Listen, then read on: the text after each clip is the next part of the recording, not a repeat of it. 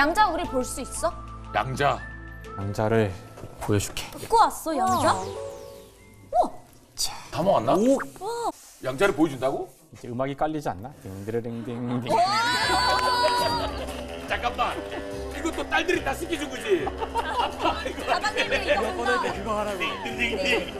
딩드르링딩. 딩드르링딩. 자, 여기 양자가 양에. 어? 자. 자, 이게 양자야? 자.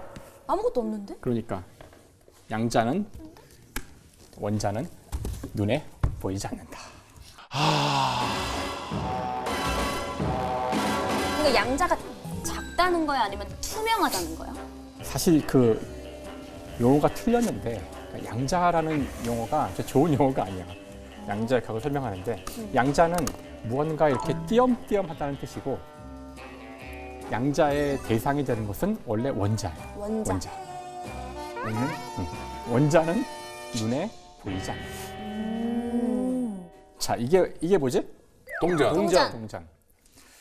원자가 눈에 보이지 않기 때문에 원자를 확대를 해서 동전만하게 만들었다고 상상을 해보자고.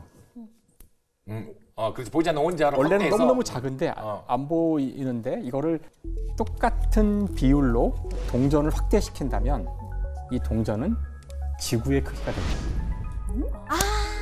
원자와 동전은 한 10억 배 정도 차이. 너무 작아서 안 보이지만 어. 하나하나는 그거를 많이 모이면 보이는데 그게 바로 너야. 네몸 자체가 원자로 돼 있다고.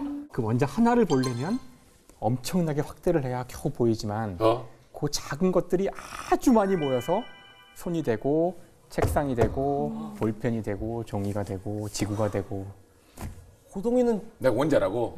조금 더 많이 모여야 될 것 같은데. 아주 많이. 아주 많이. 남들보다 조금 더 많이 모여야 아주 많이 모여야 될 것 같아요. 어, 신기하다. 저게 바로 어. 아까 우리가 절대 눈으로 보이지 않는다고 했던 원자를 확대해서 보는 거예요. 그러니까 원자라고 아까 했을 때 음. 그것이 무엇인지는 얘기 안 했잖아. 어 맞아. 어떻게 생겼는지는.